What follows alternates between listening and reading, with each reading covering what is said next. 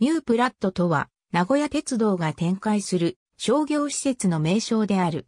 名鉄名古屋本線金山駅など、複数の鉄道駅に整備されている。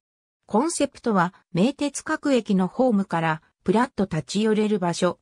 店舗は、コンコースの東側の1階、2階、西側の1階、2階、及びコンコース上にある。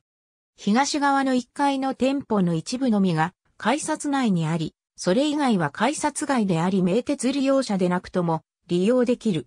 東側の2階と西側の2階は繋がっておらず、一度コンコースに降りる必要がある。名鉄の金山駅のホームは、改札から1階降りた堀割上にあるが、ホームにあるコンビニなどの店舗は、ミュープラット金山には属していない。店舗は、江南駅駅舎の東西にある。改札内にはなく、駅を利用しなくても利用できる。西棟はパン屋の1店舗のみである。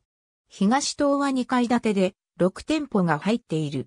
解体されたパレマルシェとコナメ店の跡地に建設された。駅ビルはなく、平屋の店舗が5棟立ち並んでいる。店舗は1階、2階にある。2階の改札内や3階のホームには店舗はなく、名鉄利用者でなくとも利用できる。JR 東海の商業施設アスティオーソネと隣接している。当初は2021年3月に開業予定となっていたが、7月に延期となっている。2021年3月16日に第1期オープン。第2期は開業未定。6店舗が入る。ニュープラット金山名古屋鉄道2014年10月24日のアーカイブミュープラット金山名古屋鉄道公式ホームページ2021年2月8日閲覧。ニュープラット港南。名古屋鉄道公式ホームページ。2021年2月8日閲覧。ニュープラット常滑。名古屋鉄道公式ホームページ。2021年2月8日閲覧。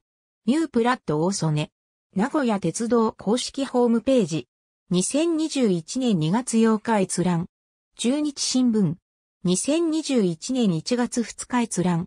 商業施設、ニュープラット一宮第一期エリアを3月16日に開業します。